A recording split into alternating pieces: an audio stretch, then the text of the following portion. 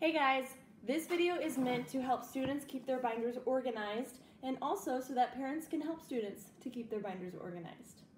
All right, so let's get started. So this is an example binder. They should have the Math About Me on the front or if they don't have this little clear plastic, they can have it at the beginning of their binder. They should have their fraction decimal percent chart here up in the front as well as any of the songs that they've learned, math songs. Okay, then the first tab is warm-ups. So their warm-up will start with warm-up one from the first week of school, and then it just will continue two, three, etc., all the way in order.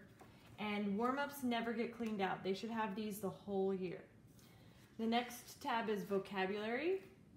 And again, the vocabulary will stay in here at all times and there's letters in the corner, so they should just be in order, A, B, C, D, E, F, G.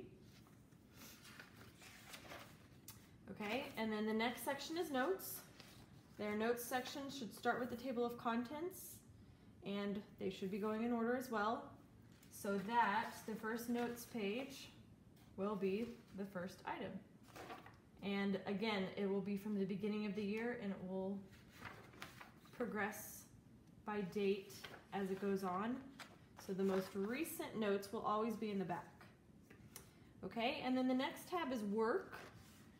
This is for any classwork, homework, graded papers, basically all the work from the six weeks.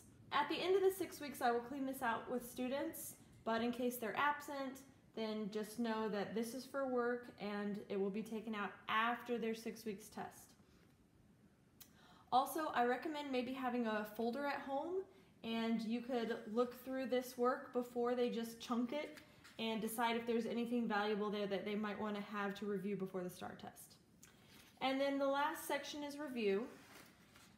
And this is where they'll have things like their data dump, which basically summarizes all the skills they learn each six weeks. So this was the first six weeks data dump. They'll also have their six weeks reviews on here. So there were two reviews for the first six weeks.